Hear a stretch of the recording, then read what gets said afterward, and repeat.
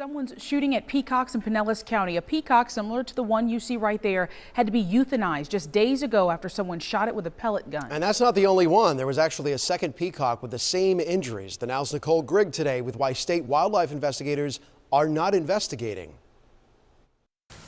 So cleaning crates is something we do all every day, all the time. Nancy Murrow rehabs all different animals.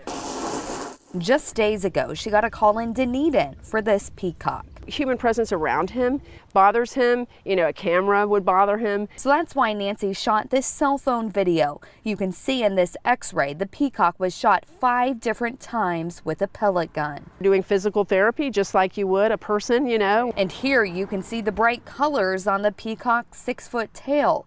At one angle, you see a copper color before turning to green.